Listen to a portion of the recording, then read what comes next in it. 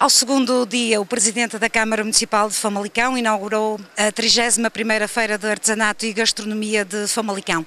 Paulo Cunha visitou o certame, acompanhado por uma comitiva constituída por vereadores, presidentes de junta e também pelo Presidente da Associação Comercial e Industrial de Famalicão, assim como outros empresários do Conselho que se associaram a esta edição. Paulo Cunha sublinhou o caráter social da medida de gratuitidade na entrada no certame, na edição deste ano, e deixou também a expectativa de que esta medida venha a ser seguida em próximas edições. Nós queremos permitir que as pessoas venham, que visitem, que renovem, que voltem, que vejam um setor no dia, que vejam outro setor no outro dia, que aproveitem também para experimentar as várias propostas nas tasquinhas, na gastronomia e que acima de tudo frequentem os eventos culturais que todos os dias temos para proporcionar. Eu quero acreditar que podemos todos os anos criar condições para que isso seja possível.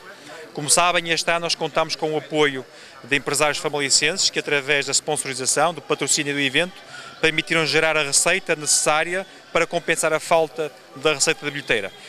Outra das novidades desta edição de 2014 é a nova disposição do espaço da feira.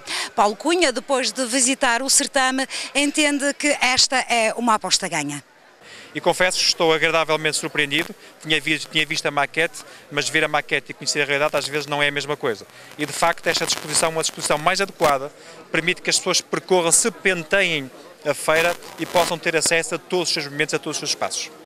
Expectativas positivas para esta 31ª edição da Feira de Artesanato e Gastronomia de Famalicão. O artesanato, a gastronomia, a animação para ver, saborear e apreciar até ao próximo dia 7 de setembro em Vila Nova de Famalicão.